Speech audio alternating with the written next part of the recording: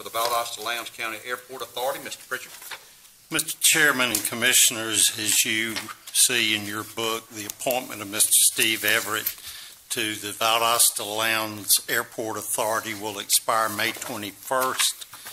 Mr. Everett has expressed his interest to be reappointed, and you also have an additional information sheet from George Page concerning his interest for consideration. Any questions from Mr. Pritchard? Okay, uh, um, Commissioners, again, uh, if you would, if you have anyone that you may have an interest in appointing, uh, if you would, please make sure that any information uh, that the uh, application is, is, has been gotten to that individual so that that information will be available at tomorrow evening's meeting for that consideration. Agenda